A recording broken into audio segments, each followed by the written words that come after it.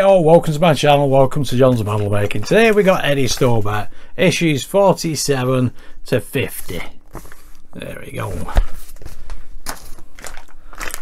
We got a tyre for 47, which we can uh, attach to the uh, wheel. That's not going to be easy. All the tough as nails them tyres. And then we get the chassis beam. Start off with the left one we do part of the right chassis beam. There's only a little bit of wiring, uh, some connections to do in one of them. Um, it's not all that difficult, it's pretty straightforward. So as we're going along, I'll put the instructions uh, for each issue and then you can follow it from there. So without further ado, let's get on with the build. Okay, let's get issue 47 under the way. We'll get the tyre out, we'll pop her in some water. There's the water, pop that in there. That's boiling up, pop that to one side. And we'll grab all these screws. And we'll give that a minute. So I can clean my desk, because it's wet now. okay, let's get this out of the water. Hopefully that is learnt its lesson and will bend to my will. Okay let's see if we can get this in here. Because that tire is hot hot hot hot hot. Through there Whoa. through there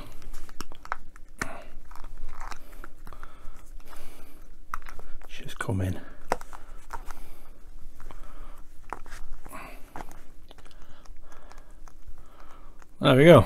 Brilliant. That went three bad.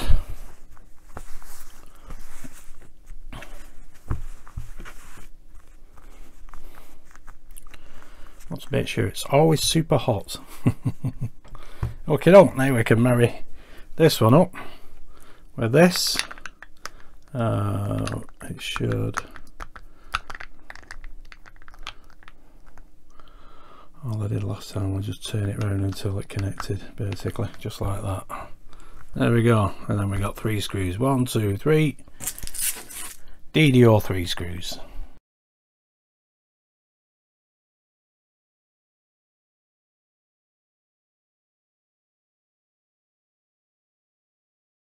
There we go. That's the second one. Brilliant.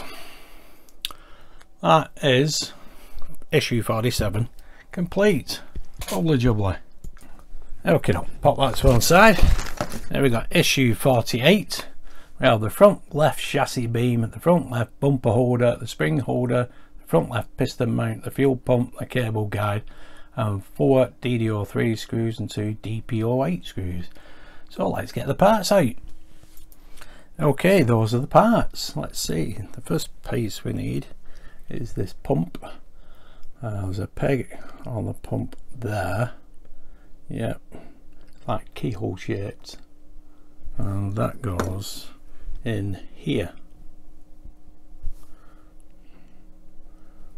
Just like that. Yep. And we screw that from behind with a DP08 screw.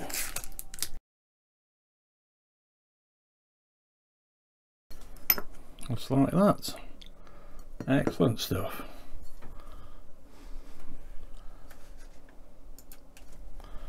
There we go. There's that pump and there's a screw hole for it. Excellent stuff. Next we need this piece and that fits through them two holes there just like that. Like that. And we screw it there with a DDO3 screw.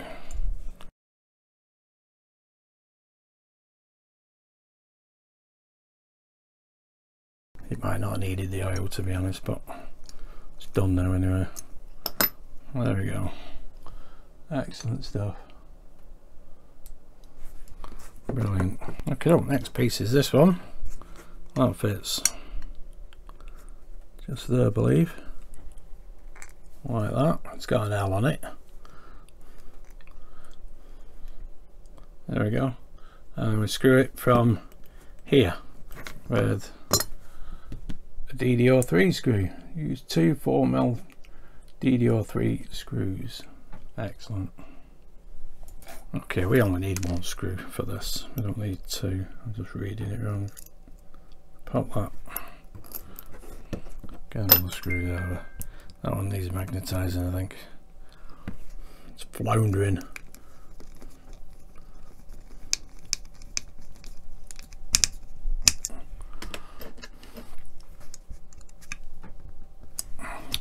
There we go. That's that piece in place. Excellent. Next piece is this one. This one, I believe, goes just there. You can't get it wrong actually. Because there's one large hole, one smaller hole. There we go and again we'll need a DDO3 screw excellent brilliant. And this I believe goes just there like so. That's for the cables.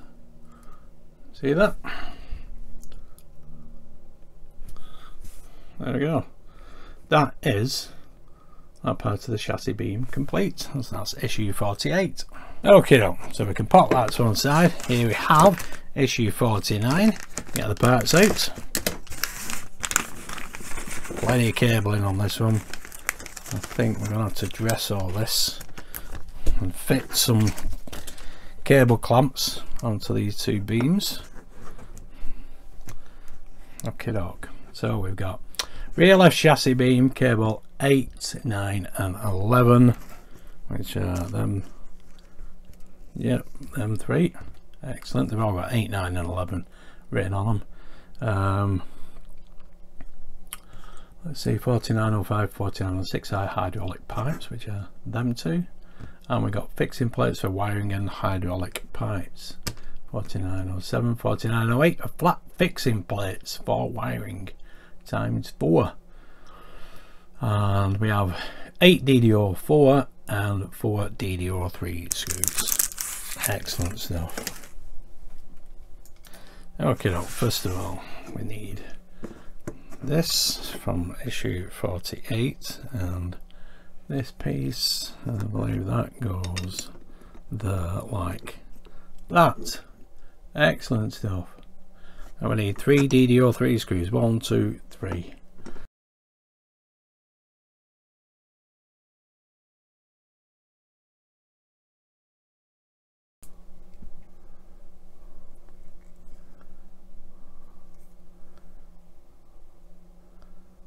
I think I'm just going to unfasten that because that does not look right to me. Just let me have another look at this. There we go that's why. I had it the wrong way around. I had it that way. Yeah but you can actually see how it doesn't fit. That's the way it goes just like that. Easy mistake to make. But now we can screw it together properly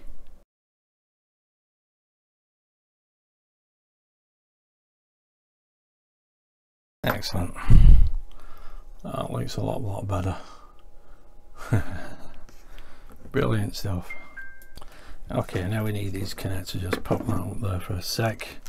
We need to organize these. 8 9 and 11 gather these together.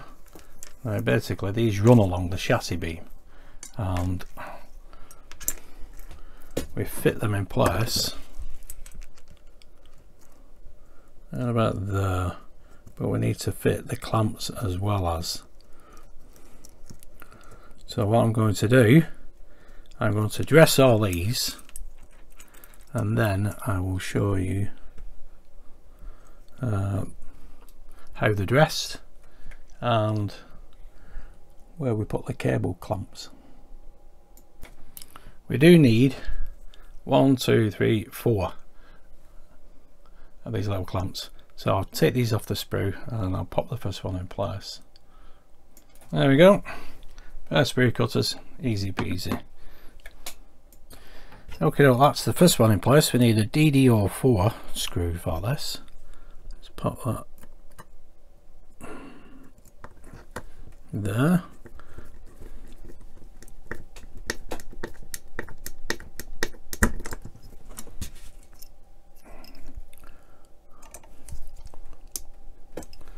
there we go. That's clamp them in place nicely. Now I'll dress these and I'll get back to you. There we go. There's another one in place. Uh, putting the third clamp in place now.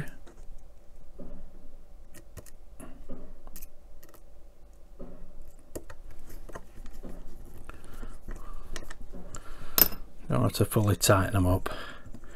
Just give them a little bit of slack run it along here and here we can see another place for another clamp right so that one can go in there.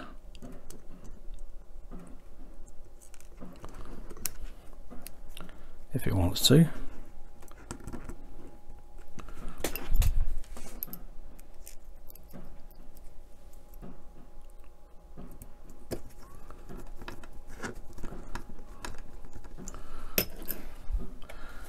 that one held loosely in place. Uh, what we need next, uh, these three off the sprue is just clamps again, but the uh, different size, different shape to allow the cable to run behind them. Basically, they go there, there, and there, and that cable stays there this one comes around here. There we go. And basically put one of these in place there. Like so. You can see where the cables are. Excellent stuff. We've also got these hydraulic pipes as well to fit and they just fit right up to the end there. You can get them under the clamps that's not a problem. I need to put these other two clamps in place now. There we go there we go. That's that completely wired up now. All through those cables, uh, sorry, cable clamps, yep, as they should be. And the two hydraulic pipes at the end here as well. Excellent, lovely jubbly. And that beam is correct now. Fantastic. That's another issue, issue 49 complete, one to go before we do issue 50 uh, if you've any concern about the wiring if you've nipped it at any point you can always check the continuity from one end to the other with a little multimeter like this. You just need this setting here on diode range. It basically bleeps. There you go. That will tell you you got a, a nice clear circuit between one end and the other. Okay on, issue 50 we need now, and here we have the front right chassis. So we've got the front right chassis beam, the front right piston mount, spring holder, front right bumper holder and four DD03 screws. So let's get them out. So those are the parts. This is the spring holder. That basically, I believe, goes there, like so. Yep. And we need to fit this with a DD03 screw. So let's use one of our spare ones from previous. Here we go.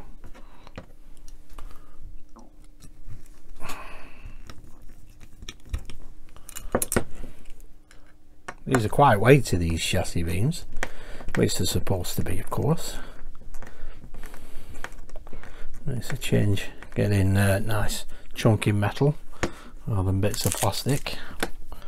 There we go, that's that spring holder in place. excellent now what do we need we need this piece uh, which goes I believe. Like that. Excellent. And we'll need another DDR3 screw. One DDR3 screw.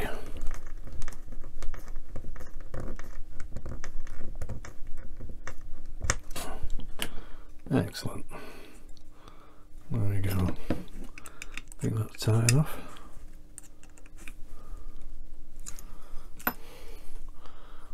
brilliant.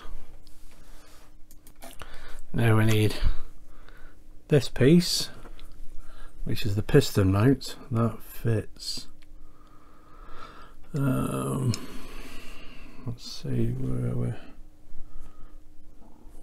That fits there. Like that. Oops. So I put it in it won't come out there we go. Fits there like that. And we need to fix that from behind with another DDR3 screw.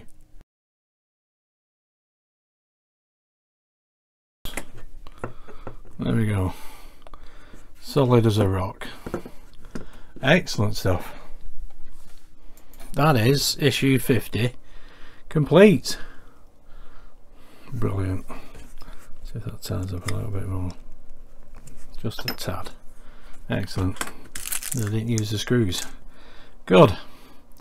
That is fantastic. Lovely jubbly so there we go. That are endeavours for issues 47 to 50 excellent. Well guys that's it. Another three issues done.